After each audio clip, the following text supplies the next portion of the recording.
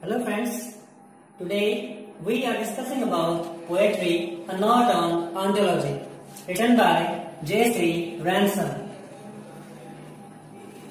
Welcome to our English channel. You are with AJ and J.C. Ransom. Let's know something about J.C. Ransom. He is famous American literary critic and a poet as well. Well, his first famous poetry collection came in 1919 entitled as Poems About God. It is very important because it was praised by Robert Frost and Robert Graves. J.C. Ransom was also an editor of Kenyon Review and he also was founding father of Fugitive. Fugitive, a group of literary poets from America. There were 16 poets in this group.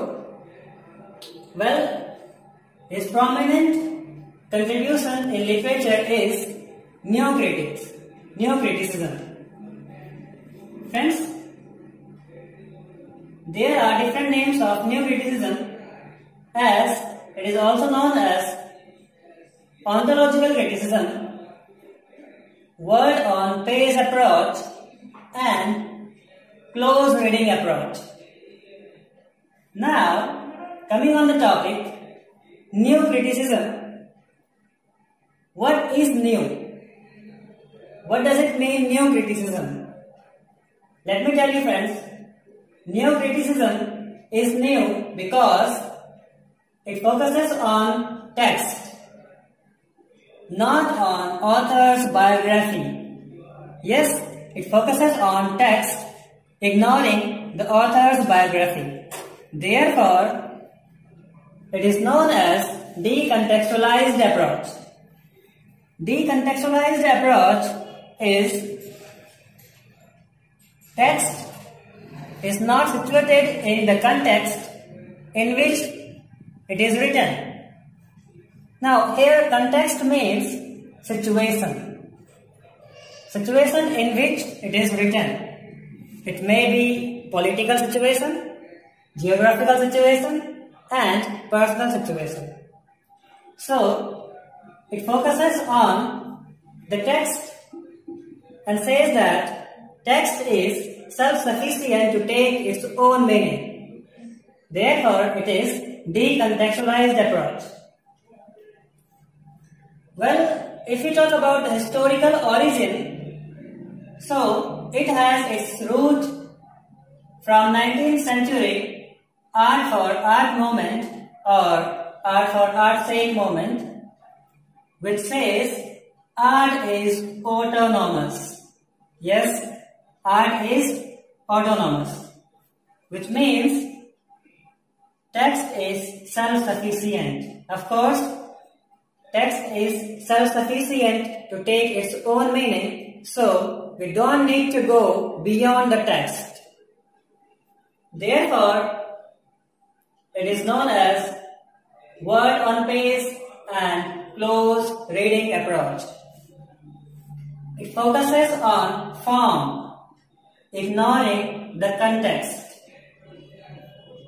And further, new critics were essentially Southerners from America who mainly called for organic unity between form and content. Later we will come to know about the organic unity between form and content. Friends, J.C. Ransom divided poetry broadly in two groups. First, physical poetry and second, Platonic poetry. And the third group comes up as metaphysical poetry. It is the blend of physical and platonic poetry. So, therefore, we have written here three types of text. Text here we mean by poetry. Friends, if we talk about the first type of poetry, which is physical poetry, so the poet uses of physical objects or things and it is a concrete form of poetry and there is no idea in these types of poems. It has visual contents as well. It is too realistic. And we can understand by an example children poetry. Children poetry comes under this group. If we talk about the Platonic poetry, which is totally idea based and we do not use any objects in these types of poetry. It is an abstract part of poem and it's not real and it is not realistic poetry. Its aim is mainly to express morality and philosophy. We can take an example of an ode written by John Keats, Ode to Grecian Urn. It is an example of Platonic poetry. Now, if we come on the metaphysical poetry, it is the blend of physical and Platonic poetry. Here we see the use of conceit. It is an indirect metaphor which is used to fetch the images.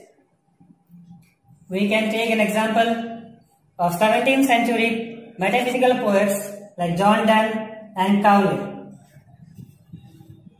Friends, further, J.C. Ransom describes the texture and structure. His famous concept, texture here mean about form and structure, content. Here, between the texture and structure, there is an organic unity between these two, two things. And this is the work of neocritics to establish the organic unity between texture and structure.